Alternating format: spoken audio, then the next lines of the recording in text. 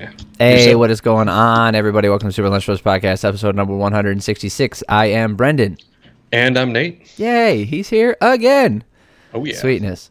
All right, today we're going to go over uh, UFC 278, Usman versus Edwards, numero dos. Uh, we're going to talk about the shocking conclusion to the title fight between the two. We're going to talk about Paulo Costa versus Luke Rockhold and that weirdness. Uh, Merab Dvalishvili versus Jose Aldo. Uh, Yuanan versus Lucie Pudilova and Tyson Pedro versus Harry Hunsucker. Before we get into that stuff, if you like MMA, if you like podcasts about MMA, if you like the UFC, Bellator, or PFL, I cover all that stuff. Subscribe to the channel so you know when the next video is coming out. All right, let's get started. Okay, so we have a new welterweight champion in the UFC. Thoughts? Your audio's off. My first thought is to be able to communicate. My second thought is, uh, I believe if we go back to the last one I did with you, I completely forgot that Leon Edwards was fighting Kamaru Usman when we started talking about who should fight next. Yeah. Basically, completely washed over this fight as if it was a foregone conclusion. Yes. Probably not the only one, but yeah, little little apology to Leon Edwards for overlooking him. That's my initial thought. So, all right. Uh, I mean, here's my like my initial thought was so uh, he ends the fight via fifth round uh, KO uh, with Yep. one minute left. One minute left to go in the fight. In a fight that he is losing, he's about to lose. You, the commentary team addressed Oh, this yeah. multiple times. They're saying He Oh. maybe won the first round, but no, the he next won. three. The, he did win the first round for Yeah. sure.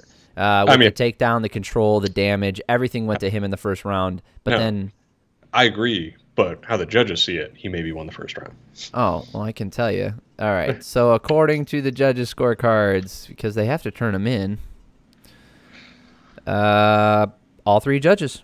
Okay. So if you look at them, all three judges had it. I will show the audience. Uh, all three judges had it 10-9 for Leon Edwards, and then Yep. all the other three rounds for. I mean, they all got it right. I think they were pretty easy rounds to score. Yeah. Um, so here's my takeaway. One, I like Edwards more now, seeing his emotions after this fight than the previous ones, because the chip on the shoulder attitude from him was not doing him any favors. Uh, some guys wear it a lot better. Some guys come across as arrogant. Some guys just come across as unlikable. He came across as unlikable. Plus, he had really bad luck, and you know, it, not he got passed over for the title shot because he couldn't get out of the UK during the pandemic. So, because of that, you know, we had the stupid Jorge Masvidal fight, and then we had the second. We had to have a rematch of that one for some reason Yeah. fine. And then Leon Edwards goes in there and destroys uh, Nate Diaz for 24 minutes and then gets cracked in the last minute and then looks like shit. And then everybody wants to say, like, oh man, this guy's nothing. And to be fair, so was I. I mean, like, dude, if Usman cracks him, you know, like, how is he not going to go down? And, you know, Usman never really landed a good shot this whole fight. He didn't land a really hard shot. I don't think he ever landed one that compromised Edwards. I think most of the most of the story was just his grappling. He I think I think there was like there's one uppercut that was pretty flush, but that was I think it was it was like an uppercut behind the head combo. I want to say it was second or third round, but that was the only real like flush shot that he landed yeah, that looked I like mean, it could have. In the second round here, you know, the first round obviously it went to Edwards. Uh, if you want to look at the striking numbers, thirteen to six Yeah. in favor of Edwards. Plus, he had a takedown, which was unique because everybody's like, "That's Usman's first time getting taken down." No, it's the first time someone got credited taking him down. Colby Covington took him down. Anyway, in their second fight. So uh, Edwards put the body triangle on him, and you know was working for a rear naked choke to end that first round. So it definitely went to Edwards. Interesting round because it's not what you expected. Now, the next three rounds, um, Usman grabbed the fence and grabbed the uh, grabbed gloves of Edwards multiple times. Um, so he, and then in the second round, Edwards got his foot caught in the edge of the cage. Uh, so there's a crease where the cage meets the uh, the floor. The flooring gets tucked underneath. So there's this little crease like this, like right there, right? And Yep. in between there, if your foot goes down, it can actually get stuck in there, and that's what it looked like it happened. And Usman took advantage of that. Um, You can tell when uh, Edwards lands well because Usman wanted to throw a couple jabs and then open up his arms and go for a clinch, and then he would go for a takedown. So in the fir- in this round two, round three, round four, almost carbon copies of each other. Yes, the striking numbers are all over the place. Uh, 36, 10, and 22 uh, for two, three, uh, two, three, and four respectively for Usman. So obviously the amount of strikes he landed changed, but the domination on the ground continued. So Yep. uh, it was just it was just one way traffic, and Edwards wasn't able to really do anything. And then in the fifth round, it was kind of turned into more of the same, but you know it was contested more on the feet in this fifth round than the previous round. So you know, I'll say, well, Usman was landing more, I felt like throughout the fight, even in the rounds he was losing, Edwards seemed more comfortable on his feet. yeah, Like even when, from a pure defensive standpoint, even when you know Usman was trying to land shots on him, and there were times when Edwards didn't seem like he was answering, he still seemed very in the moment and comfortable. It didn't seem like he was panicked at any point. It seemed like he felt a little bit more confident on the feet than I think Usman did. yeah, and he had that that shell where he you know covers up Yep. you know he'll uh, he'll cover up and he'll sit there and it's not a good visual and you do take damage doing that but you can mitigate damage. There's lots of fighters who do that. Um, Alistair Overeem being one of them he throws up the shell and then he waits for you to kind of punch yourself out and then continues the fight after that. So and he also has been knocked out because he does that. It's it's one of those things where you know if you're really good at it and you can cover up and uh, mitigate a lot of that damage you can make your opponent waste a ton of energy um, it's it wasn't going to happen. That's not how Usman fights. Usman's not going to, you know, he'll land a couple, then he goes for a takedown, and that's pretty much what he did. So in this fifth round, it was contested more on the feet, and uh, oh boy, so there was a low kick or Yep. a supposed low kick, and just like the one against Colby Covington. It did not go low. It landed right to the belly. But this time, via replay, everybody saw it, including the ref, and told Usman to get the fuck off the sidelines. Let's go. That did not go low. We need to fight. Yep. Yeah. So, So- Usman has a habit of you can call it being uh, a veteran, you can call it um, experience in the cage. He takes advantage of every single aspect of the rule set. Everything that he can take advantage of, he does. You know, he doesn't shy away uh, uh, from a technique or a strategy because it's not going to be looked upon favorably. He does not give a shit. Does not care. You know, foot stomps, loves them. Kicking a dude in the butthole when he's on the ground, does it. Doesn't care. He'll he'll do that and he'll hold your foot while he does it so you can't get up and now he can recover. So visually, uh, technique wise, is that going to finish the fight? No. But guess what? He was rocked by Burns and now because of this he gets to recover. Um, getting kicked low or making it look like you got kicked low, even if it doesn't damage you. Like I don't think that shot from Edwards really did a ton of damage to Usman No. like the one from Covington did. The one from Covington definitely affected him. This one, I don't know if it did, but it doesn't matter. He took gets the- recovery time. all he did was t- take advantage of where the kick landed. So, in in my opinion, based off what I see from him, anything that happens like around the belt line, he's just gonna crumble. He's just gonna like go like this on purpose because he knows he'll get he'll get time to reset. Um, before the knockout happened, I actually wrote down. I was like, I was like, there's this combination of Trevor Wittman and Usman is one of the deadly, deadliest combinations in UFC Mm-hmm. history. Uh, his coach, and by the way, that still stands. I think Yeah, I even say, though I, he think, I still think that. Yeah, it doesn't matter. You can't go get that many. And I know some of those wins or a lot like those early wins weren't with Trevor Wittman, but you can tell the difference with Trevor Wittman. He has stepped it up so much, um, and he, you know, nearly got it done again. He just ducked when he should have dipped and catches a head kick right to the side, right to the right side of his head. Um, a couple couple things I want to take away, and then I'll throw it to you. Um, one, like it was hard for me to feel great for anyone in this because Edwards has been kind of like had such a pissy attitude towards this whole thing, and then Usman has like this whole fake swagger, Ah, it just like this whole attitude towards him where he acts like nothing affects him, but then he gets real butthurt when someone says stuff. It just doesn't it doesn't make for a likable champion when he's out there in front of the media. When he's talking to someone in long form, like when he's been on Rogan's podcast, he seems like a great guy, dedicated father and family man, excellent individual. So you know, I don't dislike Usman. I hate the character that he plays. Um, and then the the thing that I want I took away from this was the road to being the greatest of all time just got longer for him. Oh yeah. But remember, my greatest of all time is GSP, and for many reasons, but I don't need to get into all of them. Uh, one of them is he beat every single person that he ever fought. He didn't beat them the first time necessarily, but he avenged every one of his losses. And he still is the greatest of all time, in my opinion. So that means Kamaru could definitely overtake him in in terms of that if he comes back and dominates Edwards, and he's going to have to have a couple more fights against really game opponents. No more Jorge Masvidal bullshit. Um, and then all yeah yeah it, like and I'm I'm guess I'm happy for Edwards seeing the emotion on his face and finally you know that persona that he puts on kind of came his walls came down and he uh, really let it all out so it's pretty cool to see. Yeah, that was probably very similar thoughts for me. I think my biggest thing looking at this is a little bit closer to what is going to be the next step. Because I, while it was an awesome win, I don't see how Edwards beats him in the rematch. No, Like, no. Like, What is no his, what's his path Edwards. to victory? Yeah, like I, I don't think Kamaru is going to fall for that a second time.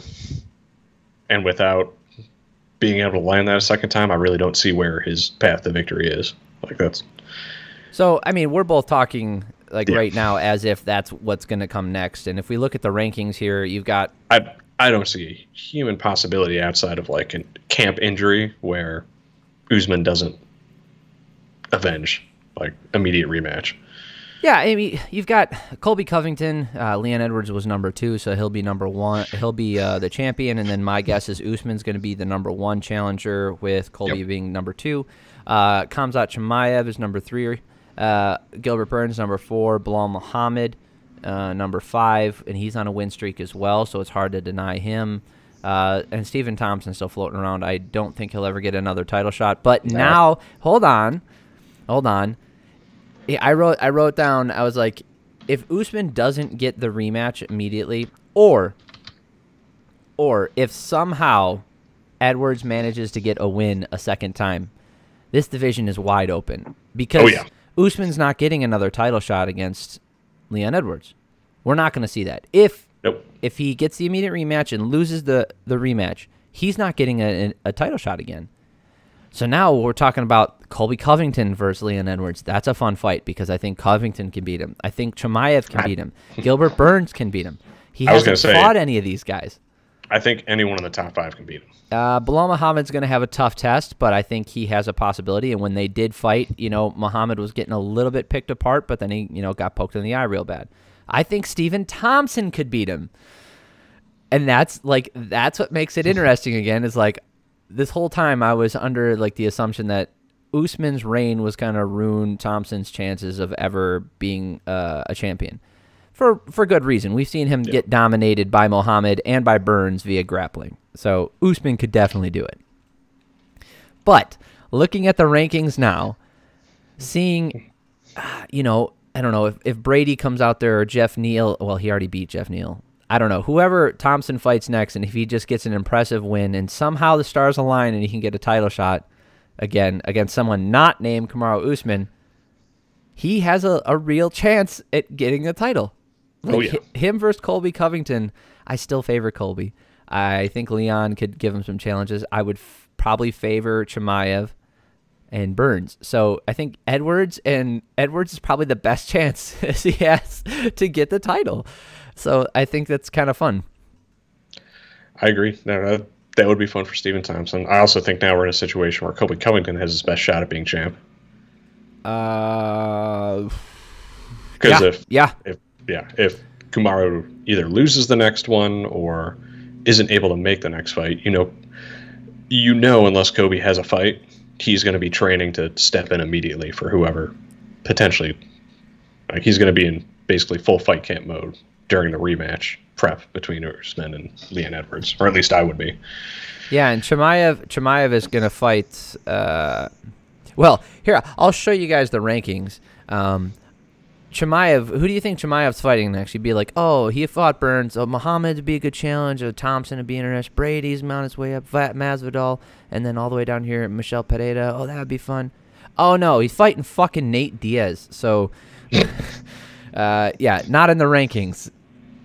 Um, he's gonna have to fight Nate Diaz next, and then I mean, that's a, honestly that's a great move for Chimaev because that's just a money fight and while you're hanging around in the. Yeah, and he was going to do it anyway. Like he was he was set to fight him regardless, and then now because Usman lost, it's probably good that he had it on the books already.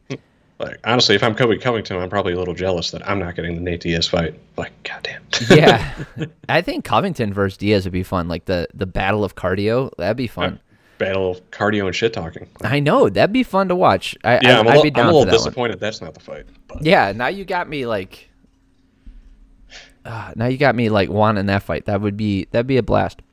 Yep. Um, I don't know anything else. Anything else from this fight? Because this this is a pretty big moment. Like I mean, watching like, that head kick. Like where do you where does that rank? there's not a lot. in That's I was like. There's not a lot to analyze because like Yeah, Kumar he was going to win Yes. and he got knocked out. Yep. Like, shit happens. Like it was, it was wild. Uh, that's a pretty big upset. Like that. That is a huge, huge upset. I'd actually. I would rank it above the Ronda Rousey Holly Holmes upset. In retrospect, yes, and also Like in the mo, in the moment, I think that one felt bigger, but not, that's what I mean. Like Well, in retrospect, in the moment it didn't feel bigger for me because I knew Rousey was garbage. like I just I knew she was garbage, and like even in retrospect, that like if you look at Holly Holm and how she's competed and how that division was still in inf- infancy, and I think Ronda Rousey got popular at the right time and had the right amount of the right fights and got lucky a couple times. It, like there's there's a lot that led into that where I I never was high on Ronda Rousey. Like whether you dislike Usman or not, like whether you like him or you like the way he fights or whatever, you can't argue with his skill level. I I agree. I don't think this is bigger than Matt Serra oh, GSP. No, no, no way. I th- I think that one's still bigger. I think uh, the Dillashaw, my the biggest one in history for me is uh, uh, Dillashaw, Dillashaw, versus. Barao, the Yeah. first the first one, and Yep. I'll, I I'll tell think you this why. is I think this is bigger than Bisping Rockhold. Oh yeah, because Yeah. ah, I mean at the time it was kind of a foregone conclusion that Rockhold was just going to beat him again. But yeah, thinking about it, like people knew that Rockhold could be beaten. He wasn't like this Yeah. unkillable force. Uh, we'll talk about him next, actually. Um, but uh, there was, uh, uh, I think, for, for me, this one ranks up there with the Dillashaw one because I'd say top five. Not bigger than Silva Weidman. mm, no, no, Because like it, I think Usman is plagued a little bit by just the time in the UFC. Like there there is more of a feeling of everyone is beatable now. Especially at the high skill levels. Versus yeah. Plus, he has versus had, the times where like dominant champions were truly like I don't know how it's fucking possible to beat them. his strength of schedule. Plus, he's been shown uh, to have weaknesses, right? Yeah. Like, uh, oh, oh, I wrote this down, but I didn't mention it. When Edwards had his back and was going for the choke, I got so pissed off because it reminded me of Demian Maia. Getting that fucking position taken away from him by the ref when they were both in that 50-50 position when he was like on his he it wasn't even 50-50. He was on Usman's back, but Usman had his arm tied in there, like his shoulder was be, almost being pulled out of its socket, and that was preventing him from fully taking the back. And Yep. then Usman makes a face, and then the referee uh, separates them. Huge Yeah, that was- mistake. Let it play out, you know. Let that play out, and it it lies where it lies. Like if Yep. they sit like that for five minutes, I don't give a shit. He's got a dominant position. Don't take it away. Yeah, eh, he worked real hard to get that, and that shows And- me if that if Edwards could take his back and lock up that body triangle as easy as his as he did, fucking Maia Maia could have done some work on the ground. Yeah, that would have been Yes. that would have been interesting. So, um, the, the reason why this one ranks up there for me is I have I have this even above Amanda Nunes losing to uh, Juliana Pena. Uh, Juliana Pena beating Amanda Nunes was not a big surprise to me, although I Yeah. I wasn't expecting it. But seeing all the weaknesses that of Nunes come back up, I was like, oh shit, yeah, this of course this could happen. I've seen it uh, in fights before, and now it just played out not in her favor. Um, I think the reason why the TJ Dillashaw one ranks even higher for me than the Anderson Silva one is Dillashaw stepped in on short notice. He wasn't even supposed to be there. Didn't work his way. I mean, obviously he was good, and his uh, only loss to Assunção at that point was a split decision, and it was kind of bullshit. But Well, and Dillashaw was a dominant performance. It wasn't just like that's what I strike. mean. It was like that. five That fucking minute, five rounds. Yeah, that was a human being coming from pretty much obscurity and beating a guy that was a dominant champion. The And pound not for just he like was ranked like right behind Jose Aldo, pound for pound best in the world, undefeated for like nine years. and not just like a little bit, like supremely trounced him. It wasn't even close. There was Yeah. not a moment in that fight where you're like, like, oh, he this is back and forth. No, dude. After that first right hand landed from Dillashaw, he just put it on him and destroyed him. And I also don't want to hear about it like, oh, well, he was on stuff. So was fucking everybody. I don't care. Like all, the, like everybody from that Nova Oh. União camp, you're gonna tell me that they're not on stuff. Get the fuck out of here. Um, I mean that's it. I think obviously the the next step is Usman, uh, Usman versus uh, Edwards number three, and Yep. then well, he's, oh, I totally forgot about that because that changes how the narrative goes. Because they've already fought, they've fought twice already, so it's back and forth. So the next fight Yep. is the trilogy fight. So even if if Edwards loses the next one, he might not get the immediate rematch I don't think he will. No, because he's already got Uh, two losses to him. unless it is a war. Unless it is like supremely back and forth and something so compelling that like fight of the year level. I don't yeah. think he gets a rematch. okay. And but that's that's the other thing I didn't think about. If Edwards beats him again, Usman could get another title shot because he does have a win over him, and he was. I don't. Th- I don't think so either, but it does change the narrative slightly because it's they've already fought twice, and it's very rare for 4 fights to occur, but it has happened. considering how it went down with Whitaker, I don't think Usman would get an immediate rematch. Like that's where my mind goes. Like, I think if he lost again, he'd get bounced back, have a refresh fight, and then come back at it. Yeah, or he just clears out the division and now he can't get a title again. It, shit happens. It happens in a lot Yeah. of places. All right, let's move on to the uh, co-main event. I don't. I, I, don't know if this was the co-main event technically, uh, but anyway, it occurred right before the main event, so I call that the co-main event. Yep. Paulo Costa uh, defeating Luke Rockhold via unanimous decision, 30-27 on all judge scorecards. Uh, this one was weird. It, do you know what this reminded me of? What? This reminded me of like an old school UFC fight. Oh yeah, Like, like the before the sloppy days of- technique. Yeah, before the days of like really good conditioning and like everyone having a gas tank, like the, Oh man. and like once people kind of like ran out of gas, just going for shit. Like that's what this felt like. Just like, oh hey, cool. This is this is like UFC 57. You know, looking at these striking numbers, I thought it was going to be way more blown out than this. Um, you got 27 to 19 in the first round in favor of Costa. So um, Rockhold was really trying to grapple, and Costa was landing some big shots, and even took Luke down for a second. But then Rockhold landed three really big body kicks as Paulo Costa calls him in. Um, one of my least favorite things from any fighter, by the way, is when they're getting hit really fucking hard and then they're laughing and then saying, "Come on, do it again," acting like it, it's nothing. Yeah. Regardless of regardless of the state of your brain, those shots do damage, right? So if you land a really hard shot, that counts as points. And you could jab me a hundred times, but my hard shot counts for more. So you smiling and doing stuff, um, it's I don't know. Like there's a female fighter who does that shit all the time, and it drives me nuts. So anyway, uh, uh, Luke looked really tired. Um, he's just throwing like one big like at the end of the first round or start at the second round. You know, Co- uh, Rockhold was barely able to walk around on his on his own. Uh, he was super fucking tired. You know, he got outstruck in the second round, thirty to twenty three. Again, not as big of a difference as you th- No. thought And, like, watching it. and there were some sh- there were some shots from Luke where it was like it seemed in terms of calling it a significant strike or like strikes that caused damage. There were times when it seemed like Luke was causing Costa some decent damage, despite not really like rocking him. Yeah, he was landing Like- some heavy fucking shots. Yeah, especially in this last round, even though so it was 16 to 9 in favor of Costa in the last round, but Rockhold landed like a couple left hands that put Costa like back into the middle of the cage.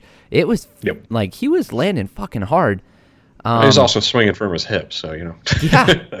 Yeah, and but Rockhold was exhausted, and then uh, I, you'll see it in the. You guys probably saw it in the thumbnail, uh, the picture of him.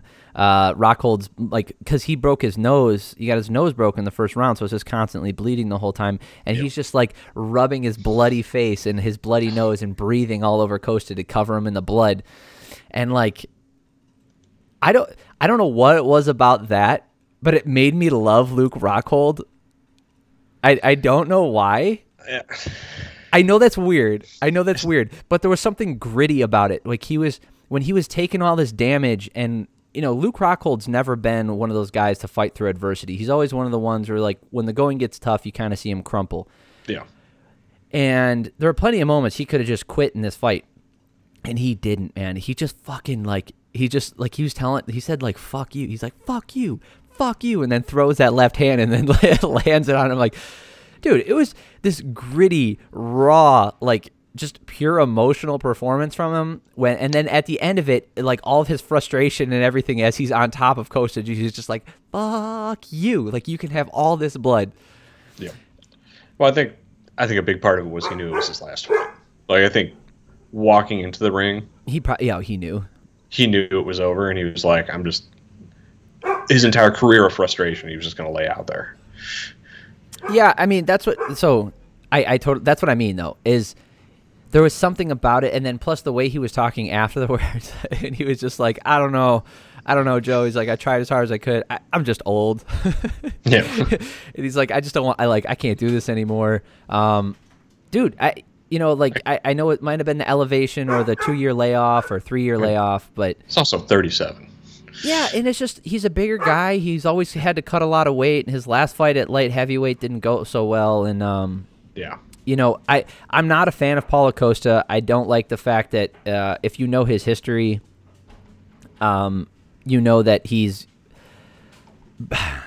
his whole team around him is like ridden He's a with controversial PEDs. fighter. yeah, well, but it's like so I don't have a problem with PED use, right? In general, but when it comes to a fighter, I am not a fan of someone break actively breaking the rules, and then because of that, like it allows them to fight. But there's there's just no way, and it's not that there's no way like oh that's impossible. He must be like genetic blah blah blah. Mm-mm. There's like a whole team history around everyone around him who have He is genetically gifted. He Well, just I'm sure yes, also obviously yeah, he just also has some Yeah. other yeah, and gifts that he gives himself. and like that's the other thing is like he got tested right before the fight and like he got upset about it It's- dude shut the fuck up like you brought this on yourself i don't care Of course, you're getting tested before the fight. yeah but like it, the, whatever anyway um i'm never i've never been a fan of Paulo Costa. i feel like he was given like a free a free ticket to get the title shot and then actually like he absolutely got smoked and every time he's faced someone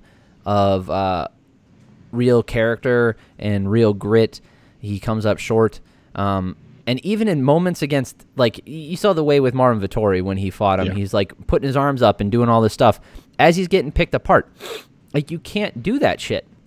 It- And- it's only it's only flashy and cool if you can back it up. Like that like shit talking only works if you're actually backing it up. That's the problem.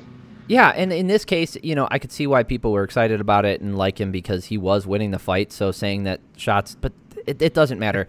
Um, He was technically winning the fight, but he wasn't like he wasn't actually winning the heart of the fight. Like he wasn't he wasn't the one he wasn't the one where like he would move in forward and land a couple big shots and then he would back away he wasn't yeah. like if It wasn't any- like a dominant like cool, he's just picking this dude apart. No, and that's the thing is Yeah. like he had plenty of moments and opportunities where he could have d- done that, but he couldn't. And then fucking Luke Rockhold like showed incredible heart. And, and at the end of it, I came away saying like, "Oh, Paulo Costa's still a bitch. Like he can't Yep. fucking handle adversity. Um, like yeah, getting hit in the face is adversity, but when it comes to like, like putting together it- a win, It was a unanimous decision. It was not a dominant win. no, Like he he almost looked really bad and weak against a guy that's you know, coming off six, a three-year layoff. six years older than him, hasn't fought since 2019 in a different division. Yes. Yeah, and did not look good in that fight either. Uh, Looking at the looking at the rankings here, you got uh, Adesanya number one, obviously. Uh, you got Robert Whittaker, Jared Cannonier. So Whittaker's never getting another title shot unless you know he clears out the division yet again, which, in my opinion, he, he might be able to do. Whittaker eh, like was very competitive in their last fight, uh, him and Adesanya. Um, and you know Whittaker's reaction to after that fight really spoke spoke a lot to me. And then I I rewatched it and I saw what he was talking about because Rogan went up to him. He's like, "Are you surprised about?" And he's like, "I'm just surprised how well it was working." He's like, "My game plan worked exactly how I wanted it to. I just don't know how I didn't get the win."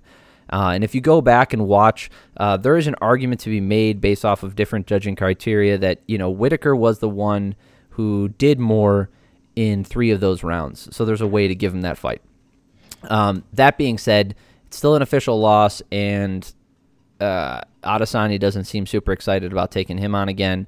Uh, Jared Cannonier coming off the loss to Adesanya, he has already fought Whittaker, so I don't see that happening again. Uh, Cannonier versus Costa would be fun. Uh, Marvin Vettori also already fought Costa and also fought Adesanya twice. So you can't fight him again. Derek Brunson already fought Adesanya, and he's coming off a loss to Cannonier. So Alex Pere- uh, Pereira is the one who's going to be fighting for a title next. Obviously, getting that free, not a free ticket because he has previous kickboxing experience, so it's a little different, right?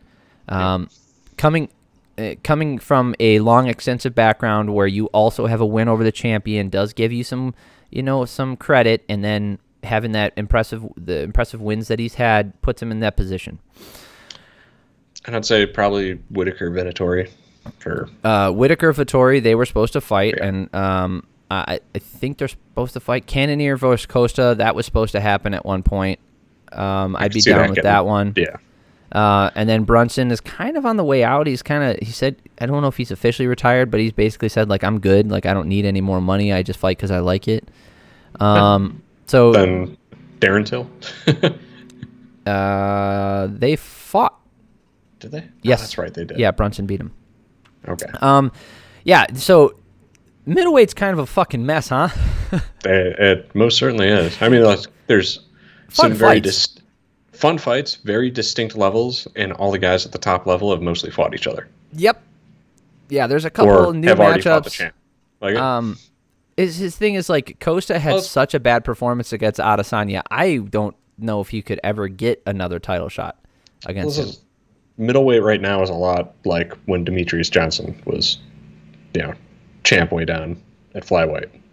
It's like cool. Everyone at the top five have all fought each other multiple times because he just keeps clearing out every person that comes. Yeah, he him. beats him, and then he also had Joseph Benavidez right below him, who Yep. got three shots at him and couldn't. He couldn't beat him, and that's the thing is Benavidez beat everybody else in the division. And look at what's going on here. You got Adesanya and Whittaker. Whittaker's had a couple shots at him, can't beat him, and Whittaker's just beaten But- everybody else. But Whittaker can also, be, yeah. You know, Whittaker him in the division. beat Cannonier. He can beat. I think he can beat Vettori. He has beat Brunson. He hasn't faced Pereira. Uh, he could beat Costa, Yep. but he's beaten so many people in in the middleweight division who are even in consideration for title title contention. So it's hard. It's hard when I even see this because I saw when when Jared Cannonier got the title shot. I know the only reason he got a title shot is because Whittaker can't face Adesanya again, because Adesanya beat Cannonier pretty convincingly. Yep. So it's just it's one of those things where it's it's unfortunate that this is where the division is, but it's no through no fault of you know I, he had that brief foray into light heavyweight, taking on Blachowicz to try and get the title. But I think Adesanya has pretty much taken on every challenge that has been put in front of him. I don't think it's his fault. You know, uh, Usman fought fucking Jorge Masvidal twice, and that's essentially like a, a reprieve from actual fights, in my opinion. And you know, those are get well fights, pretty much. So uh, Adesanya hasn't had any of those. He's had nothing but challenge, like top tier challengers. Everybody, uh, he's taken on everyone, and you, you know, I don't think he's held up the division at all. I don't think Whittaker's done anything wrong. You know, because uh, in the past, you know, Colby Covington sitting out saying, "I'm not fighting anybody." Um, when they had that heavyweight problem with uh, Stipe Miocic and Daniel Cormier that fucking locked up the division for three and a half years. Yep. Um, that shit drove me nuts, and it's really ruining a lot of guys' careers. And that's actively because two idiot, well, two guys and the UFC, but DC was the one who was controlling that shit. He had a lot of pull with the UFC, um, basically in getting to control his own destiny, and it's kind of fucking over everybody else in the division. Uh, this is not that case. It's just unfortunate that where we are, and you know Costa can fight a lot of these guys in here. I just don't see him getting another title shot because he he fucking lost to Vettori. He's lost to Vettori. He's like, I mean, what what is his record?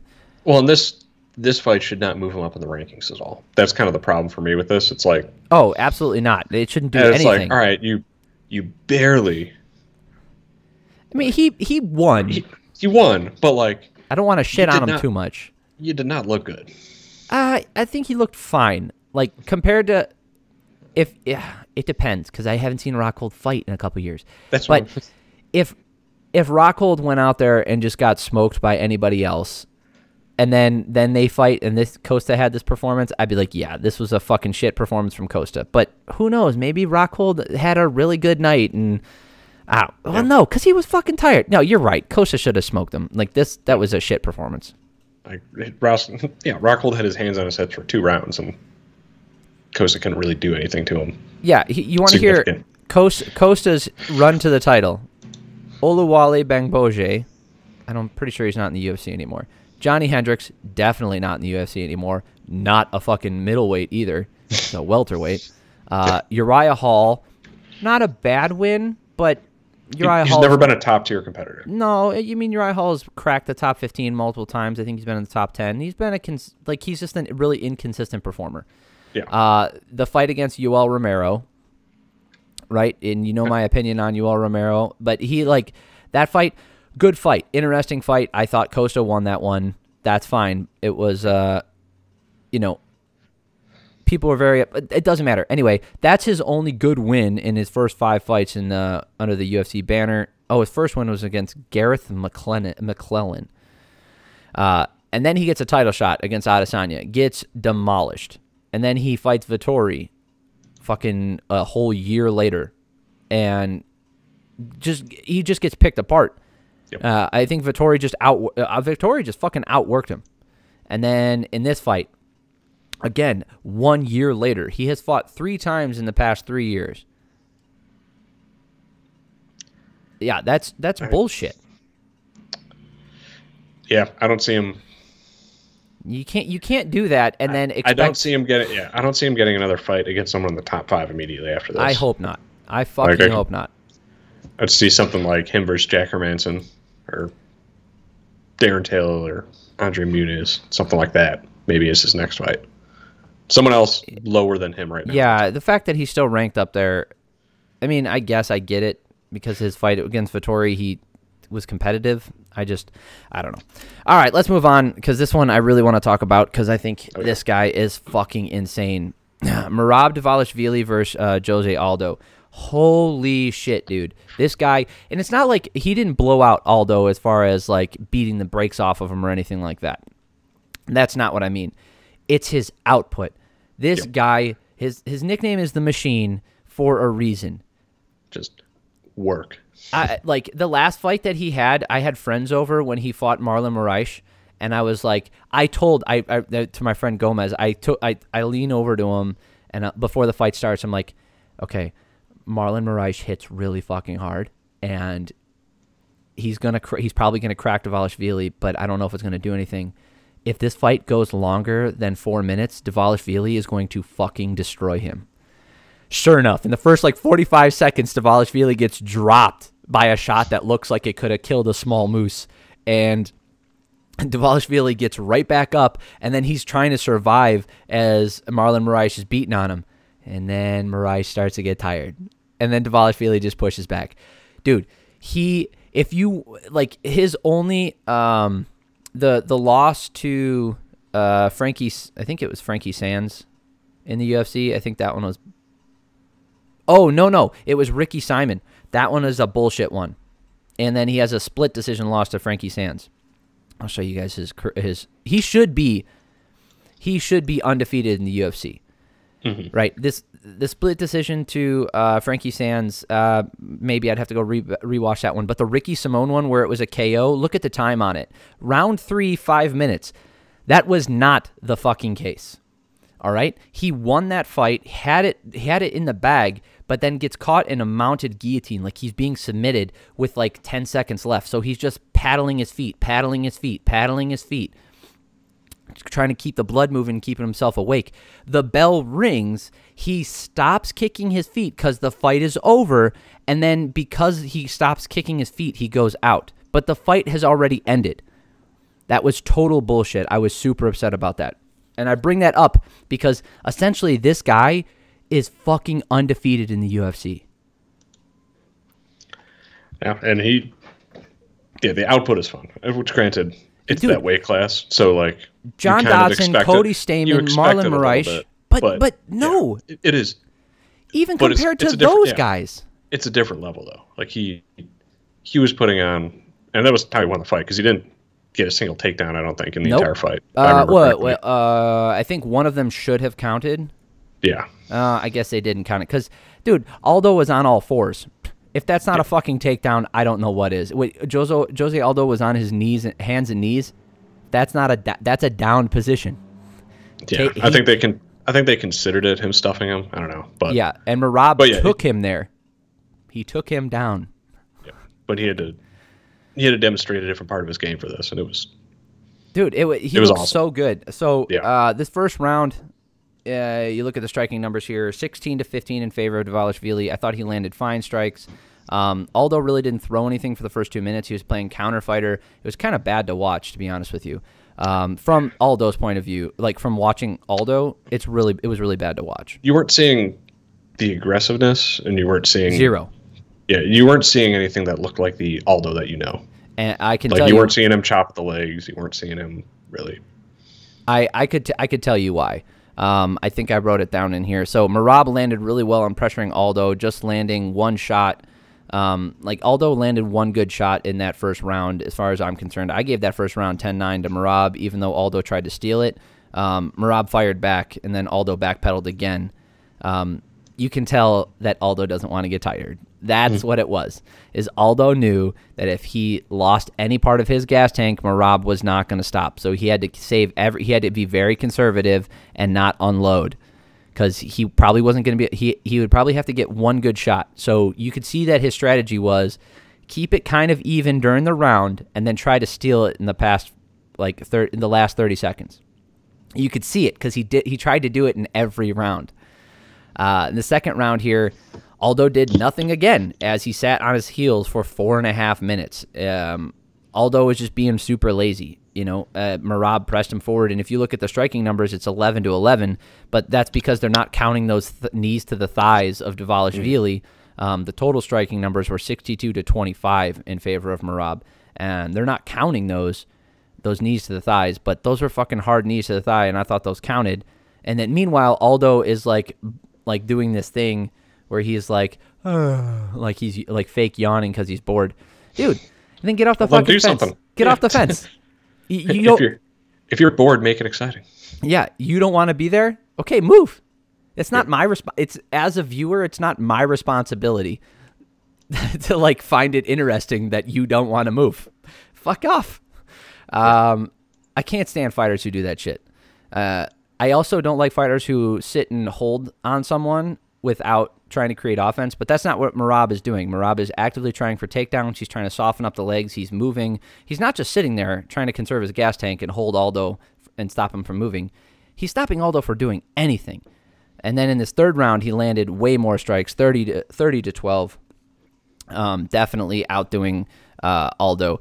Uh, we got to look at the rankings here. This is this is rough. Jose Aldo is ranked number three. Um, also, I did not like the way that Rogan said it. He was like, Jose Aldo took a big chance, a big risk in facing you. Merab is ranked number six, and he's Oh, yeah. fucking uh, essentially, like I said, un- essentially undefeated. The dude's on like a fucking ten fight win streak. Taking a chance is bullshit. He's fighting the guy who he should be fighting. Yep.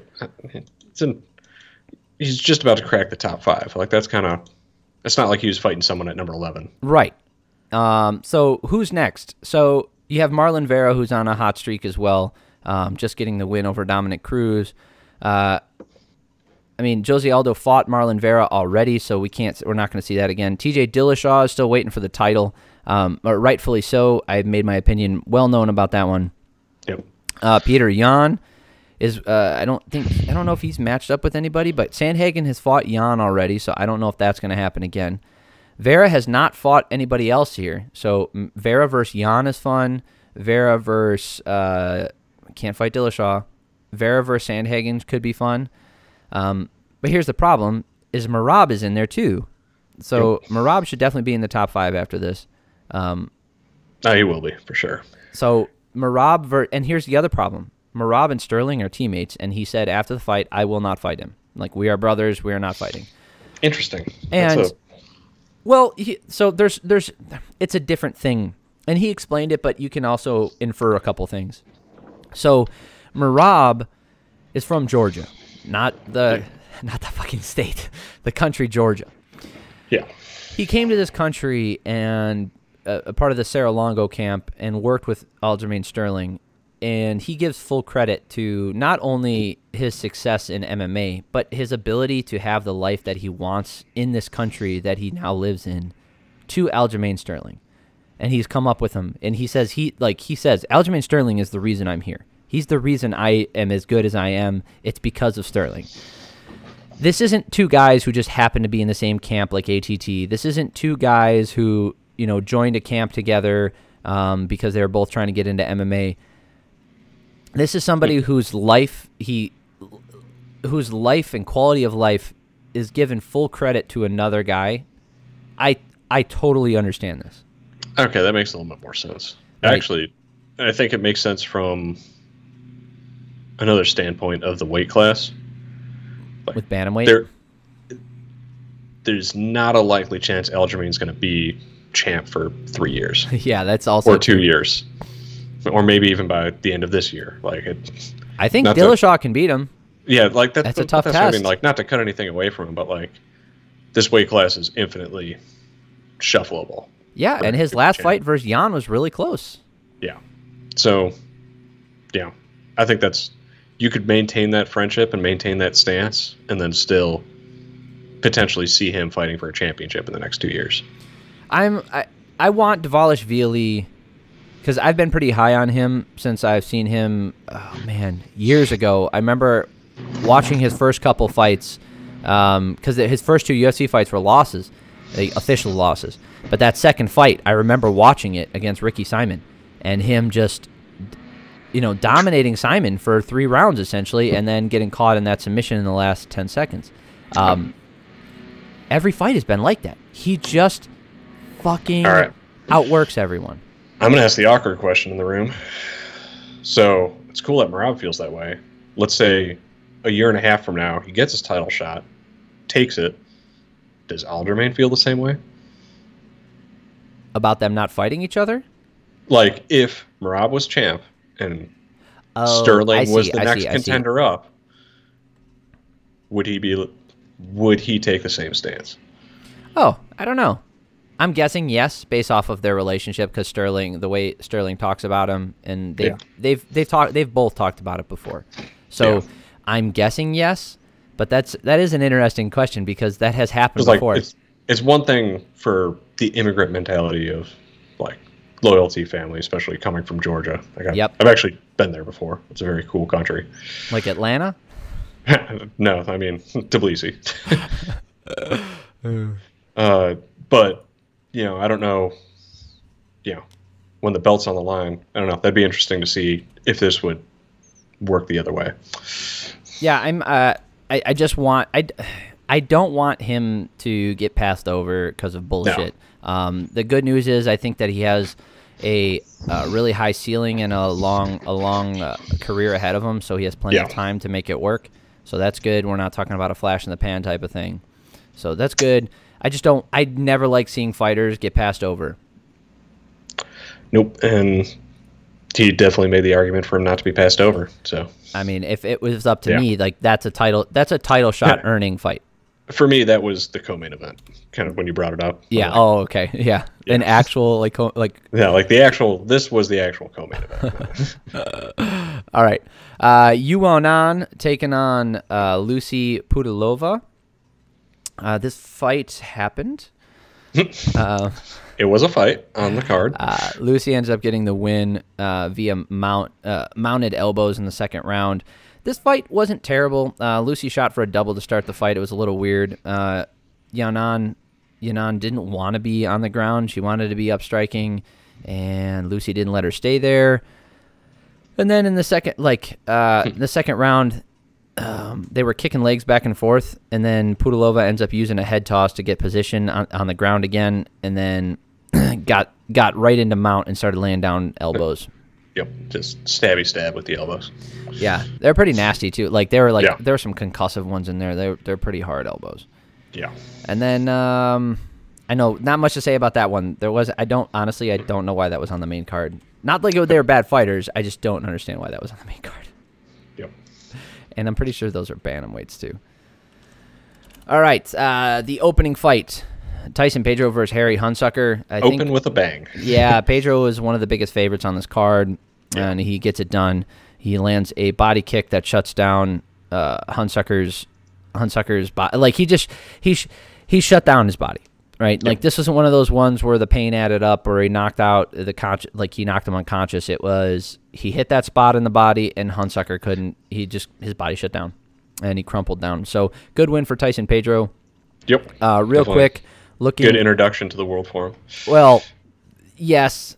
Uh, he, so if you look at his fight, I know it wasn't his debut, but I like, know, I know. kind of So if you look at his fight history, he's got he started his uh, fight his UFC career with two impressive wins against Khalil Rountree and then Paul Craig.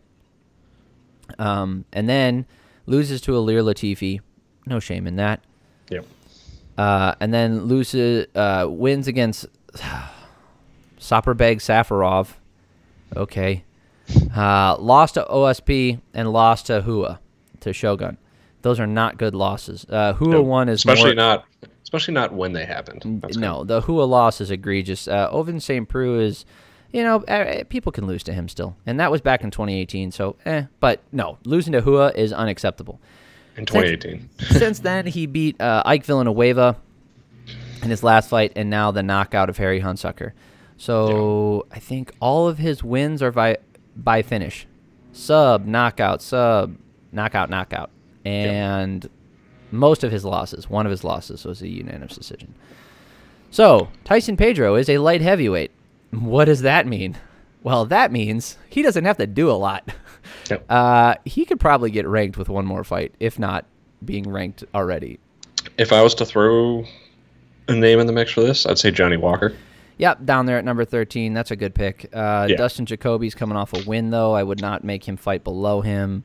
Uh, Jimmy Crute uh, coming off that leg injury loss. Well, I think in terms of people low in the top 15 that have some name recognition, like Johnny Walker's up there, and Yeah. then coming off a highlight knockout, I think that's probably a good pairing. In terms of like recency, like something that's memorable that you can throw up there. So Johnny Walker. Johnny Walker is supposed to be fighting Ion Cutelaba in September. yeah, Um, who else? Paul Craig is coming off a loss. He does not have a fight booked. yep, That'd be a fun one. And it's a rematch with Paul Craig losing the first one, and now it's a different Paul Craig. So there's a little bit of story there. So that'd be fun. Uh, that is it. All right, that is the the main card. If you're looking for the prelims, it's in the next video. If you're looking for the PFL playoffs, I did that one two videos. Or I did that one in the last one. Lots of fun stuff there. Um, Good good main card overall. Yeah, I was actually very Like- happy. This uh, Yeah. this did not feel like it dragged along. Even the fights that were grappling heavy, even in the prelims, you kind of knew it was going to happen. Even the main events, you know, Yeah. it's you're dealing Like with a guy who is an active grappler. It it did not look like a lot of depth on face value, just knowing where Luke Rockhold is in his career, and even, you know, I love Jose Aldo. He's still on the latter half of his career, so it was kind of seemed like it was just names versus fights with a lot of potential for impact or Yeah, but- changing up divisions. Dude, Jose Aldo is like I know he's number three, but like no, he was one fight. He wins this fight, and he gets another title shot. he's still, uh, which is crazy considering His how long he's been. losses are to Volkanovski, Moraes, and Yan. I know, which is crazy considering how long he's been in the game. But it's still like Oh, hold on. The Volkanovski doesn't count. No, no. Uh, Moraes was his first fight down here at this weight class, I think. Yeah. So he lost to Moraes, lost to Peter Yan for the title. Anyway, uh, and then he gets three wins in a row against Marlon Vera, who is on like unbeatable since then. Uh, Pedro Munhoz, who's been fucking fantastic, and was a great Rob. Font, who only lost to Marlon Vera. Like, Like I'm not I'm not saying he's not dangerous. I'm not saying he couldn't actually be champ at this weight division. That's just like once again, why that should have been the co-main event, not the third one down. he's also not even that old. He was a champ really young. Is he not? I thought he was mid thirties. Yeah, he is. Okay. I know. I yes, like I, you're right. He's a little little long in the tooth for uh, for a featherweight. Oh, well, not even a featherweight. yeah. He's fighting at bantamweight now. So But still, like it, on face value, it didn't look like that much depth in the card, but it was very good fights all the way through. I was happy with it. I had fun. I liked watching it. There was a uh, there was a couple moments where I was like, oh, here we go again. Like this shit happened, and then you know, like like the Paulo Costa fight. I thought that was going to end in the first round with Rockhold kind of just quitting. He just fucking didn't. He made it fun to Nope. watch. Um, Rob Dvalishvili versus uh, Jose Aldo. Like I thought, you know, Dvalishvili was gonna like grind him out. He did, but he, you know, would separate and strike and then do some interesting stuff. Um, Tyson Pedro starting with a knockout, and then you know the female fight ended in the second round via TKO. Like it's a pretty pretty good card, man. Oh yeah, no, very very good card. I will right. say, the next fight night might look is a pretty fucking deep fight night. That's gonna be a fun one. Which one? Ciryl Gane versus Taya Oh, and Robert yeah, in Whittaker versus Marvin Yeah. Vettori. This like is the France one. that. That's a fight. Alessio Di Chirico, that's a good one. Nasrat Haqparast versus John Makdessi. Oh my god, that's a fucking banger. Yeah. Oof. No, Jessica Andrade, uh, that fight got canceled. But still, those those top four fights for a fight night card, like that's gonna be Ooh, Benoît Saint Denis.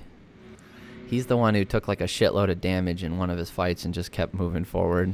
And like, they were like, "How is this guy still standing?" He he lost, but yeah. it was uh, interesting. All right, uh, thank you guys for spending time with us. Thank you guys for taking the time out to watch the video. It means a lot to me. It means a lot to us. I appreciate like appreciate everybody. If you made it this far, please subscribe to the channel. You're gonna like every video I put out. I promise. If you made it this far in the video, you'll like the other shit that I do.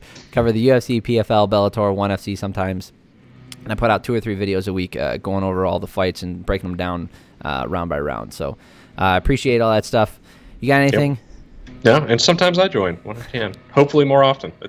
Yeah. we got a pretty good streak going in the past month, so a streak of we'll two. keep it up.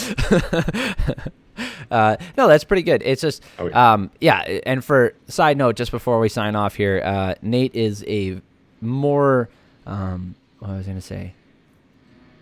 I would say more important individual in the world than I am. So he has responsibilities that require his presence a lot more uh, than me recording for a couple minutes. Uh, so that is why he does not join. He also is not always in the same location like I am.